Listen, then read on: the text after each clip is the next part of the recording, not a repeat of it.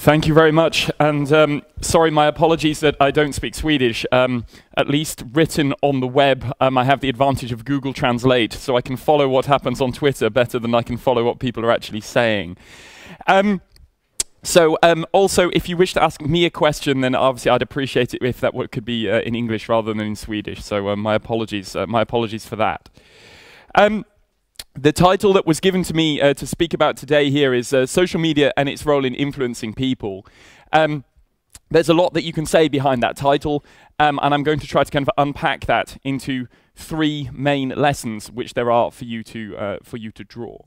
It's worth saying that at least on the basis of the initial engagement in this room, I'm very impressed by the level of social media activity. If we put together uh, similar people in a British or a German environment, I think there would probably be less activity in social media in the room. So my apologies if I'm telling you things that you already know. Anyway, First lesson for social media, and this is for Svanen and it's for all of you in your own companies and organizations, is the time is now. Um, that is in the main because for every passing day, it gets harder and harder to manage to make headway in social media. Yeah? Um, it is because we are now uh, used to the way that social media works. We've all, well, almost all of us, have tried it. In Sweden, in, in Northern Europe, the UK, some other European countries less, we are reaching the stage where the user numbers in social media, particularly for Facebook, more about that later, are not actually going up very much. And also, the big campaigns which were run at the beginning, which gained media traction, yeah? It's harder to run those any, any longer. Now, there was one, you may be aware of it, in Sweden, Bevara oss från Gatuvåldet. I'm not sure if I'm saying that correctly. Yeah, my apologies. Um, which was a campaign running 2007 in Sweden. Um, which managed within one week to get 100,000 members of a Facebook group in Sweden, yeah, at a time when Facebook had 200,000 members. Now, you can forget it if you think you're going to get half of the Swedish Facebook uh, users um, uh, to be backing whatever it is that you do these days. Sweden now has 4.5 million users of Facebook, and the most liked company um, which is a maker of, um, of licorice sweets yeah, in the Swedish environment, has uh, 350,000 likes, so representing only something less than 10% of the total users. So that kind of experience seems to show that um, this sort of thing that they managed to do, getting 100,000 people in a week, because the mainstream press in Sweden was interested in that kind of in that kind of campaign in social media. For every passing day, it's harder to gain that kind of traction. And also bear in mind that the more time goes by, so these cycles speed up. Yeah? I'm only here, yeah, because I was an early adopter of this technology. I'd worked out how blogging works, I'd worked out how Facebook works, how Twitter works, and everything before everyone else had realized that it was going to be something that was important.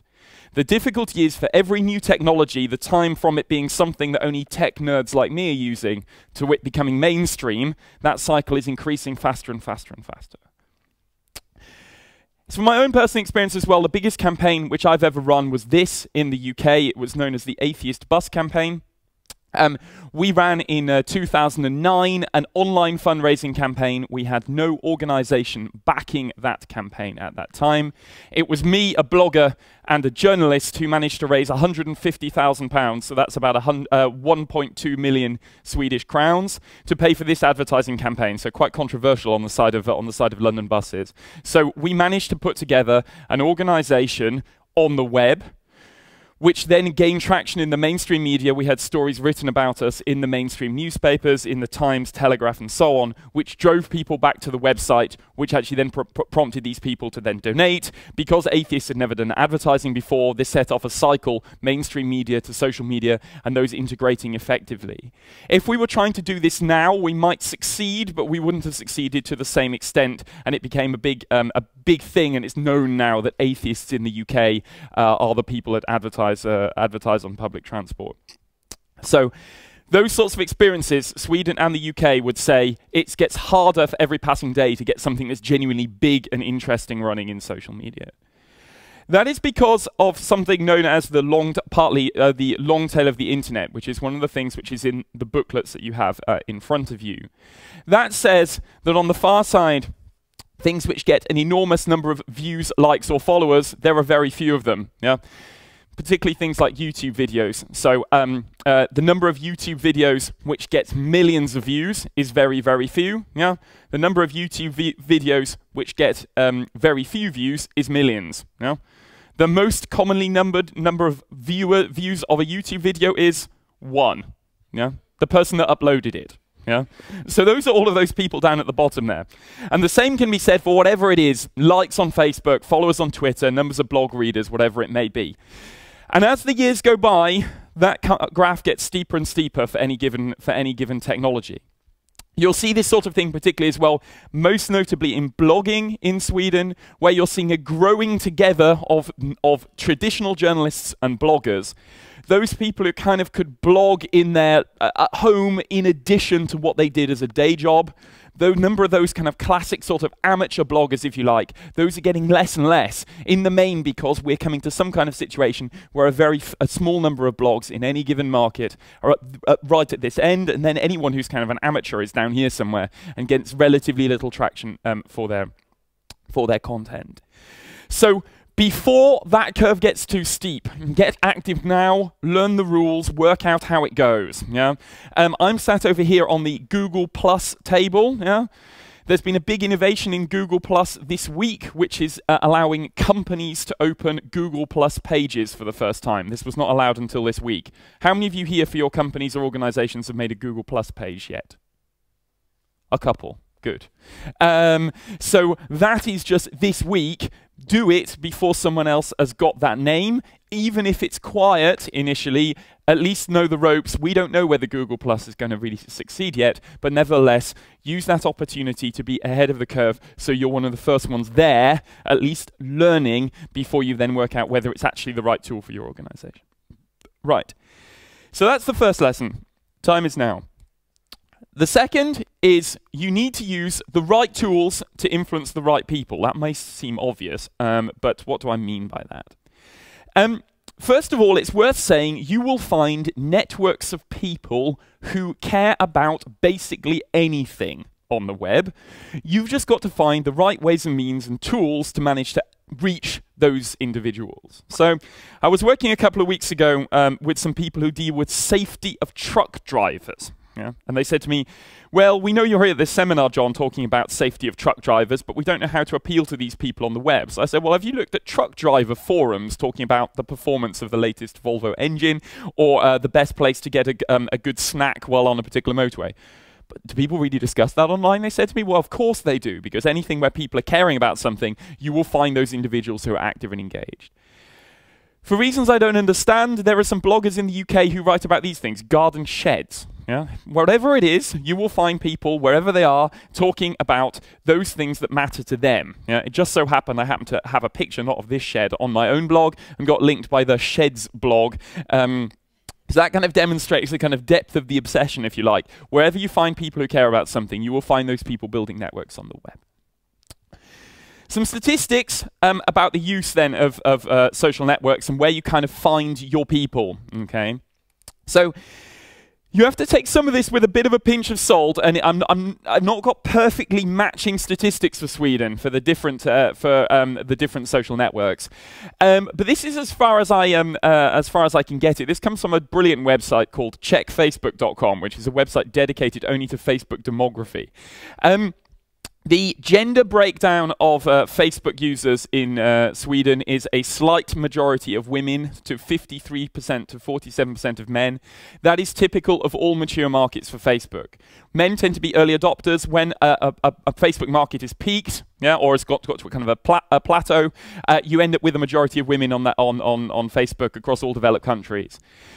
There are 4.5 million Facebook accounts uh, in uh, Sweden, representing 49.6% of the population. It is worth saying in that regard that in Sweden, if someone is a member of a social network, yeah, they are a member on average of 1.5 social networks. That means, yeah, oh, that rather few people are a member of any social network other than Facebook. Yeah? In Northern Europe, yeah, there is the least average number of social networks that any individual will join. Basically meaning that when people talk in the Nordic countries of social networks, they mean essentially, for most of the population, first and foremost, Facebook. Okay. The breakdown in the age on Facebook is also very interesting.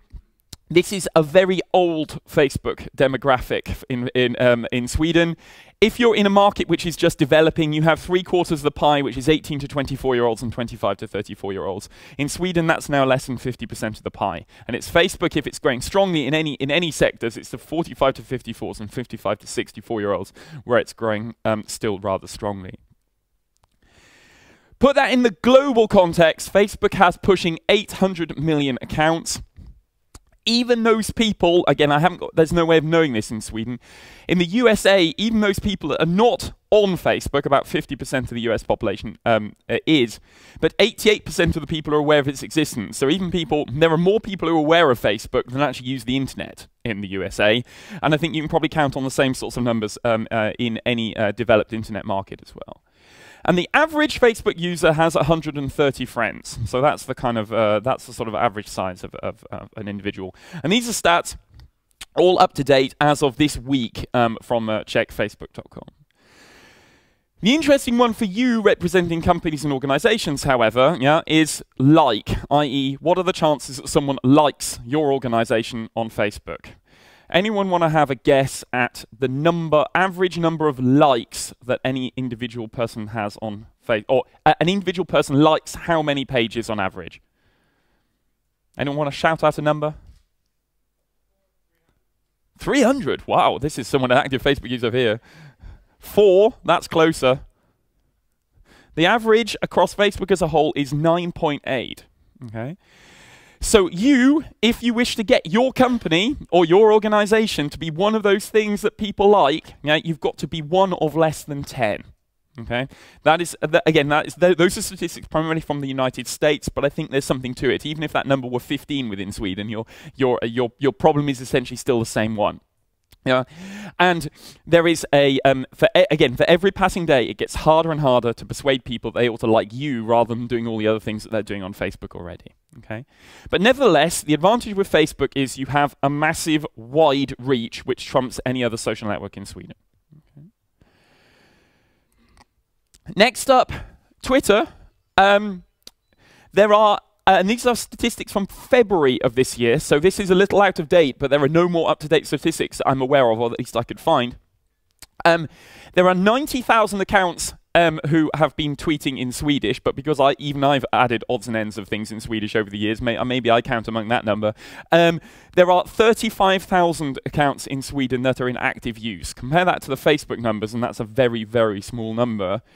And across Twitter overall, yeah, um, 5% of users write 75% of the tweets. Yeah? So that's, again, kind of long tail of the net, if you like. Yeah? You've got a small number of people who are producing a lot of the content. The statistics overall for Twitter, 81% of people follow less than 100 people. Oh, sorry, I'm repeating myself on the slides, I apologize. And the last one, 87% are aware of the existence of Twitter, only in the USA, only 1% less than the people who are aware of the existence of Facebook. So while it might have a very small user base, yeah, and an even small basis of people who are actually actively using Twitter. Nevertheless, the numbers of people that are actually um, uh, know of its existence yeah, are actually um, actually almost at the at the Facebook levels. There's been some research, oh, that doesn't really come out very nicely there. This is a map of tweets by language in Europe. Um, you can just about make out the different countries here. Massive levels of activity in the Netherlands. The UK's in grey there. It's not that, it's just that the contrast is not showing it particularly well. It's not that the UK is a kind of complete Twitter-free zone. Um, um, Sweden, Sweden, at least in this, in language terms, yeah, you can see here that, like, for Poland, for example, is basically that is correct. I can confirm that off my screen. It's basically completely blank. The main metropolitan areas are generating, in a European comparison, a reasonably high level of, of, uh, of activity on Twitter. The advantage for you guys, obviously, is not the numbers of people that Twitter can potentially reach; it's the types of people that Twitter can reach. You can reach plenty of journalists in um, uh, in Sweden. There are many Aftonbladet journalists, for example, who um, who are very active in uh, in in social media. They're um, uh, chief political editor Karin Pettersson, for example, is very active on, on Twitter. You can find ways and means of reaching those individual journalists using that using that, that means. Our speaker later on, Birgitta Ohlsson, the Europe minister, again a politician, very active and actually and actually interactive on Twitter with 9,200 followers. And probably best of all, but writing mostly in uh, in English, Carl Bildt, who is at a level of uh, something in the region of 45,000 followers uh, on Twitter. But I'm not sure the total statistics of the number of those that are actually that are actually in Sweden.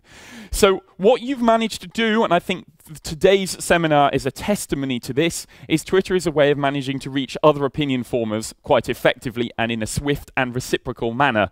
Facebook doesn't necessarily offer the tools in order to manage to do that. I don't know how many of us around in this room today will be able to find a way of using Facebook to help us with the professional networking from this event. Just a quick couple of slides on some of the other social networks. Uh, LinkedIn, there are 675,000 accounts on LinkedIn in Sweden, which puts it uh, um, considerably higher than Twitter in terms of total user accounts. It's fine to add your boss as a contact on LinkedIn in a way you might not want to add your boss as a friend on Facebook. Um, but the difficulty is, is the level of activity is much, much lower. There are people that are logging in once a week, once a month, something like that.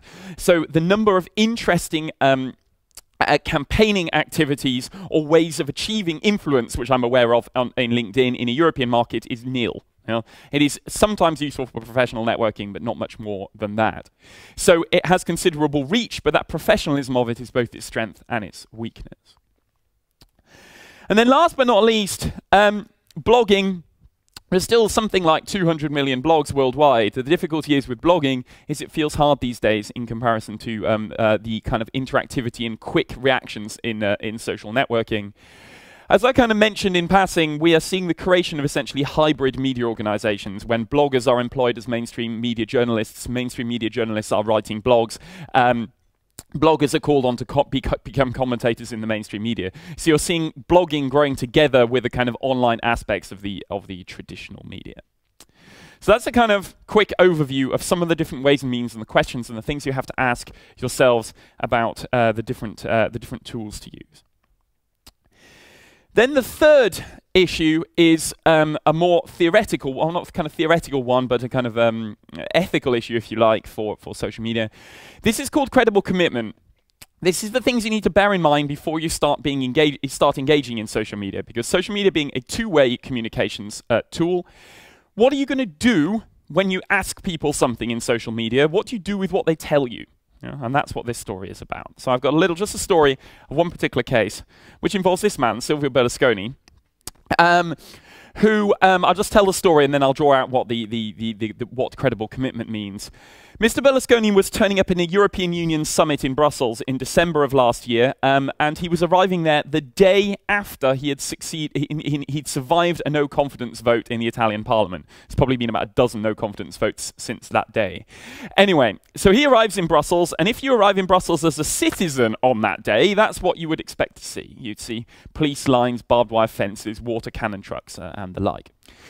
So, in their wisdom, the press service of the Council of the European Union, that's their building, the kind of place where the summit was taking place, they said, well, we realize that citizens can't come anywhere near the summit, yeah, but um, we're going to do something about this in social media. So they put up a big screen in the summit venue where anything written on Twitter with the hashtag EUCO would appear on the screen. Yeah, you can just imagine you're starting to think, ah, hang on a minute. Yeah, Obviously, all of those people who were armed with smartphones there and others elsewhere started using that to their advantage to have a go at Silvio Berlusconi. Yeah, that's actually a picture of the screen.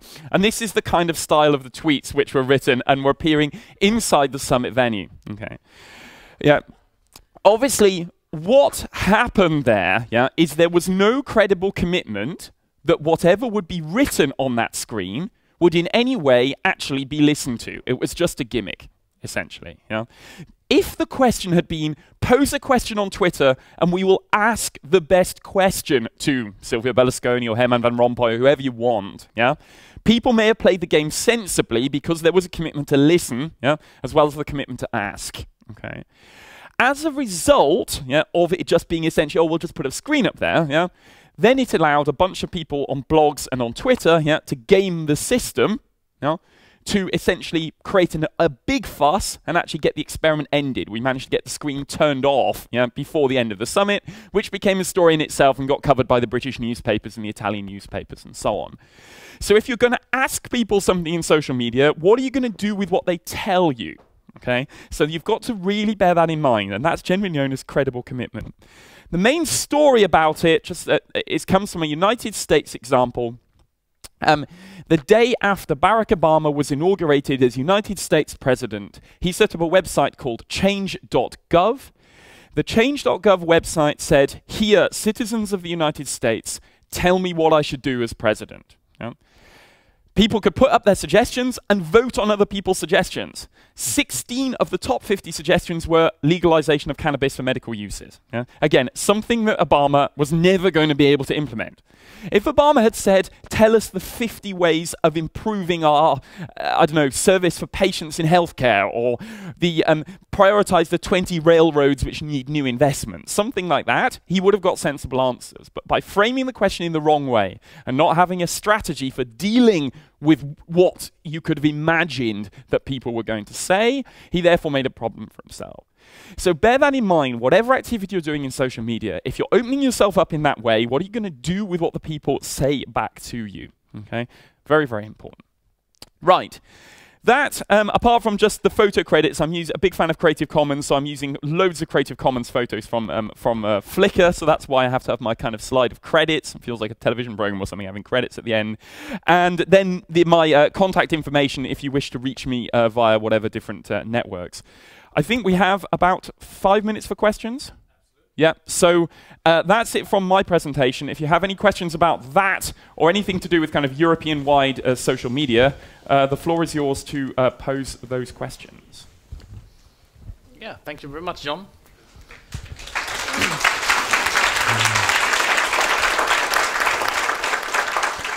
well, I, I, can start if, if, you, if you like. Um, you have mentioned a lot of advantages with with the different social media. What, what would you say is the biggest risk um, as a company?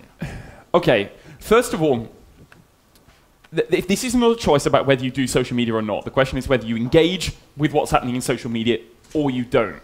Yeah, people will be talking about you anyway. Yeah. And if you have not, as a company, built some kind of presence in social media, someone else is going to have your names or do something with, do something with your name. So essentially, it's not a question of, of if. Yeah? There will be people dis discussing what you do on social media anyway. Yeah? So that's the kind of that's the starting point.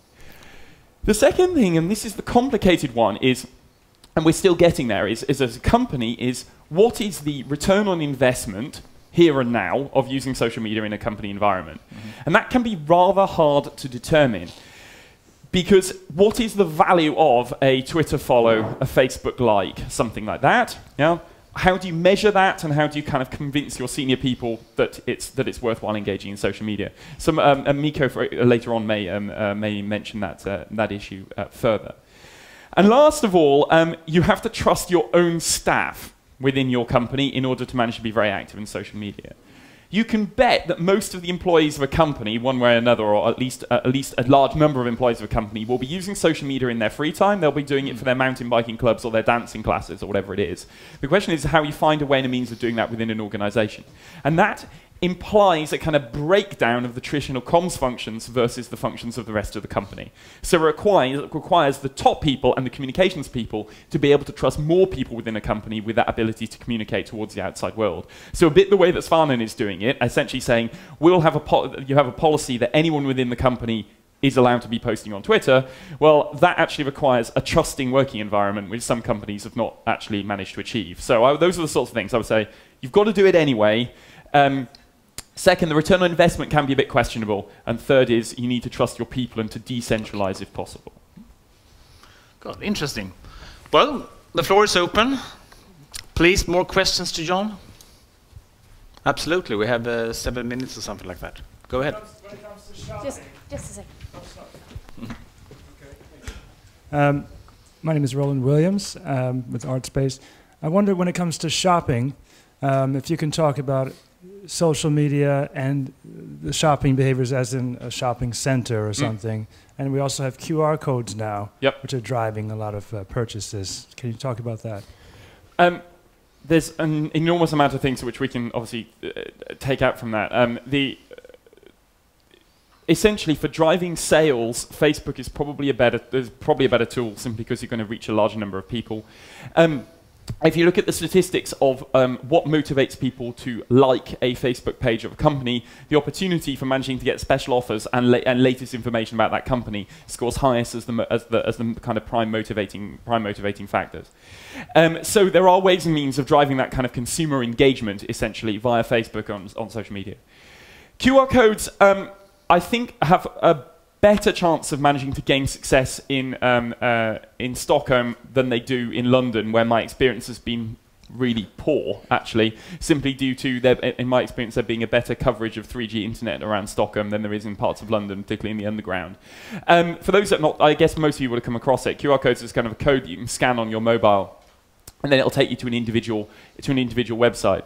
I would say I just think that the tendency with QR codes is people think, oh, that's a cool technology, we're going to use that. Whereas actually just remembering a simple web URL, that company's th- that company's name .se slash the special offer, you know, uh, that might be almost as appealing. But at least there's a kind of the immediacy of QR codes. It just strikes me that QR codes are a bridging technology until we end up with near field technology in mobile phones in coming years as a way of essentially giving that kind of immediacy. You know? um, what I've yet to see, and there may be Swedish examples of it, but there's some in London, is interesting um, uh, um, shopping uses of Foursquare and other, so, and, and other geolocation services. So allowing um, people, if they've checked into a given shop, whatever, to manage to make sure that what, the, the latest offers and whatever are presented to them in that particular way. Restaurants have been doing it in the UK to a greater extent, but I haven't seen interesting shopping uh, implications of it. Um, I'm not sure that's altogether answered your question. There's at least a few bits and pieces there. If there's some other points that you want to p- pursue further, happy to uh, happy to follow those. Yeah? He seems satisfied in a way. Okay, good. Good. More questions, please? Vad är det här framme? Nej, förlåt. Just a scratch. Där! Over there. Oh, sorry. The microphone is on its way.